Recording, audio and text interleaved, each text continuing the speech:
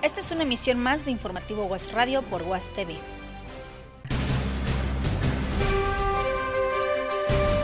Informativo UAS. Radio. Iniciamos.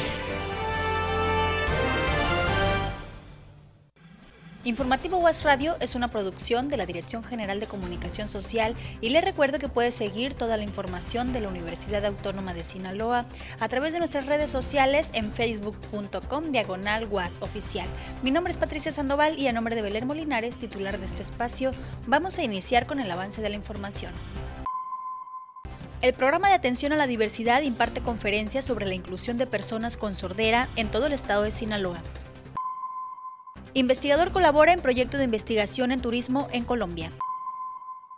Iniciamos con la información, amigos del auditorio, y les comentamos que el programa de atención a la diversidad de la UAS imparte conferencias de inclusión social de personas con problemas de sordera en todo el estado de Sinaloa. La Universidad Autónoma de Sinaloa, a través de su programa de atención a la diversidad ADIWAS, realiza diferentes acciones para la inclusión de la comunidad hipoacústica, por lo que se han programado diferentes conferencias a lo largo y ancho del estado para que este tipo de jóvenes, además de tener un buen desempeño académico dentro del aula, se desarrollen de manera adecuada en la sociedad y con mayores oportunidades, destacó el Sayoko Kitaoka Lizárraga. Estas conferencias van a esa comunidad precisamente, a la comunidad de personas con discapacidad auditiva, que pues ahorita siento que es una de las comunidades en más desventaja en todos los sectores por la barrera de la comunicación.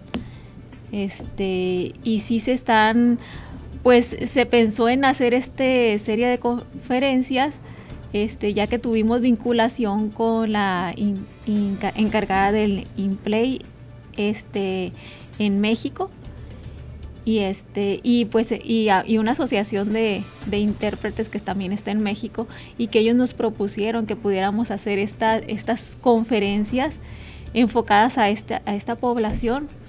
Expresó que actualmente la UAS tiene matriculados en sus diferentes niveles de enseñanza 57 jóvenes con sordera profunda y 137 con debilidad auditiva, por lo que se ha podido observar que muchos de ellos no conocen a perfección el lenguaje de señas mexicanas, hecho que los limita a tener una buena comunicación con los intérpretes y comunidad en general, ocasionándoles problemas socioafectivos que frenan su desarrollo para los débiles auditivos sí ha sido uh, difícil identificarlos, ¿no? Porque ellos tienden a esconder su discapacidad también y, no quieren que este, se enteren los profesores, que se enteren sus compañeros. A veces traen el implante nada más, no se les ve. Pero poco a poco, conforme se ha ido sensibilizando la, la población, este, los profesores pues han ido identificando cada vez más en sus grupos hablando con los alumnos para que ellos este, accedan a pertenecer a este programa de atención a la diversidad y también accedan a los apoyos, ¿no? Kitaoka Lizárraga comentó que con este tipo de acciones de inclusión, una vez más la máxima casa de estudios sinaloense va un paso adelante de las políticas nacionales, toda vez que en lo general aún la educación en México no cuenta con el apoyo total del gobierno hacia las personas sordas y pocas de ellas acceden a educación de calidad y pues hemos encontrado pues mucha aceptación por la comunidad. Tan solo en esta primer conferencia que se dio sobre los derechos de la comunidad sorda, pues hubo eh, mucha audiencia tanto de, estudiantes de la universidad, padres de familia de ellos, como estudiantes de secundaria, del ENES, este, y en las tres unidades regionales que se alcanzó a dar, ¿no? La verdad que eh, del área laboral estuvieron también presentes. La universitaria manifestó que en agosto se continuará con las conferencias bajo temas como el servicio de interpretación, la importancia de la comunicación entre los padres y los hijos sordos, así como educación regular y bilingüe para los niños y jóvenes sordos. Con imágenes de Aurora Díaz, reportó para Informativo UAS, Concepción Quintana. Y en más temas, investigador de la Facultad de Contaduría y Administración, colaboró en proyecto de sustentabilidad en el sector turismo en Colombia. Como parte de los compromisos de investigación del nodo denominado Investigación, Gestión y Conocimiento Organizacional, perteneciente a la Red de Estudios Organizacionales de América Latina, el Caribe e Iberoamérica, investigador universitario realizó estancia en Colombia en días pasados. Luis Vicente Ovalles Toledo, catedrático de la Facultad de Contaduría y Administración de la Universidad Autónoma de Sinaloa, dijo que su estancia tuvo que ver con el desarrollo de un proyecto de aspectos de sustentabilidad en el sector turístico, donde colaboran investigadores de México, Costa Rica, Colombia y Venezuela. El compromiso que tenemos ahorita es un estudio sobre aspectos de sustentabilidad en el sector turístico. En ese proyecto de investigación estamos colaborando maestros investigadores de México, de Costa Rica, de Colombia y de Venezuela. Entonces, a raíz de esos compromisos, eh, programamos una reunión en estos días en la ciudad de Colombia, en la ciudad de Barranquilla, Colombia, con el propósito de seguimiento a estos, a estos compromisos y presentar avances. En este sentido, indicó que dicho estudio analiza si estos países han tomado en cuenta los objetivos de desarrollo sostenible que marca la Organización de las Naciones Unidas en su Agenda 2030. Estamos analizando los ODS y de ellos ah, hay unos que sí aplican en nuestra investigación, por lo tanto lo estamos haciendo en base a nuestros objetivos. En México y más en el ramo turístico hay organizaciones del ramo turístico que han firmado el compromiso del Pacto Mundial para la Sustentabilidad y lo que queremos es revisar si efectivamente dentro de la práctica cotidiana de esta organización está atendiendo estos compromisos que ellos mismos signaron. Por otro lado, y atendiendo el plan de desarrollo institucional que enarbola el rector, doctor Juan Eulogio Guerra Liera, en lo que respecta a la internacionalización, Ovalles Toledo dijo que en esta misma estancia y reuniones de esta red se aprovechó para que algunos estudiantes de posgrado de la FECA, que actualmente realizan estancias académicas en Colombia, sostuvieran encuentros con investigadores latinoamericanos.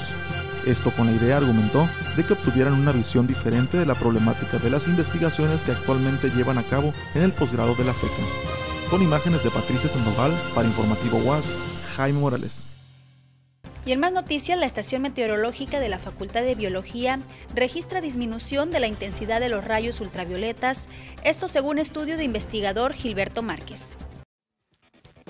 Un estudio para medir o cuantificar los rayos ultravioleta que llegan a la ciudad de Culiacán que se realiza desde hace décadas en la estación meteorológica de la Facultad de Biología de la Universidad Autónoma de Sinaloa, detectó una reducción en horas que han incidido en la capital principalmente en aquellos rayos que se califican en la escala de altos a extremos. Gilberto Márquez Salazar, profesor investigador y responsable de este proyecto, argumentó que en la tabla de clasificación que se tiene por años, al menos al 2016, la imagen presentó un registro de abundantes e intensos. Esta es una imagen de junio del 2016, cuando de los últimos años han sido eh, muy intensos y muy abundantes. Por ejemplo, los extremos, en abril del 2016 tuvimos 60 horas. En mayo tuvimos 111 horas. En junio tuvimos 106 horas. Los rayos llegaron a 15 Recuerden que de 11 es el nivel máximo. Entonces fueron altísimos. Para el 2017 se tuvo los siguientes datos. En el 2017, en abril muestran un ligero decremento, 56. En mayo 72 y en junio 27.5. Entonces nosotros comparativamente en estos dos años muestra un decremento y en lo que va de este 2018 comunicó. Vemos un cambio muy marcado. En abril no tuvimos ninguna hora con rayos extremos, ultravioletas extremos. En mayo tampoco tuvimos ninguno. Y en junio pues hicimos un corte el día 19, hoy es 21, hoy se termina la primavera, astronómicamente se termina la primavera y tenemos registrado solamente cuatro horas con rayos ultravioletas extremos.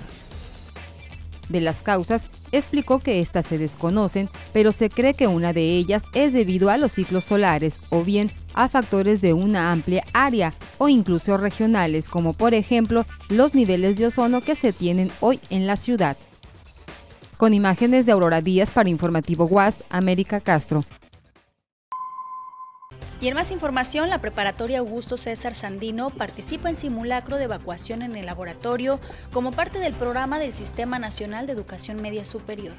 Personal y alumnos de la Unidad Académica Preparatoria Augusto César Sandino participaron en un simulacro con evacuación parcial de accidentes en el laboratorio como parte de los requisitos a cumplir para promoverse al nivel 1 del Sistema Nacional de Educación Media Superior. Esta actividad en la que estuvieron involucrados los responsables del Laboratorio de Química, Marco Antonio Velarde, Inés Jakes Coronel y 12 alumnos de primer grado, fue coordinada por el Centro de Instrumentos a través de la técnico en diseño de equipo de laboratorio. Sobre todo tiene que ver con el enfoque de prevención. Todo lo que tiene que ver con simulacros va enfocado a la prevención, con la intención de que prevenir para no lamentar.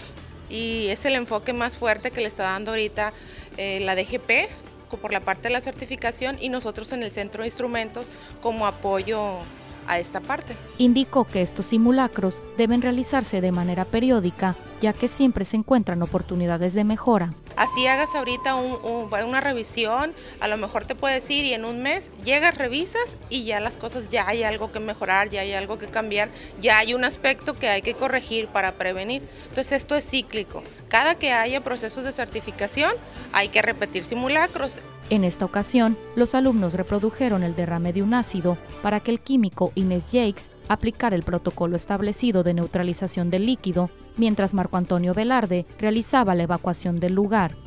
La intención es eh, que los usuarios del laboratorio en todo momento estén este, totalmente seguros, que haya este, un protocolo bien, bien ensayado, bien estudiado de, qué es lo que se tiene que hacer cuando tenemos algún, este, algún accidente de este tipo.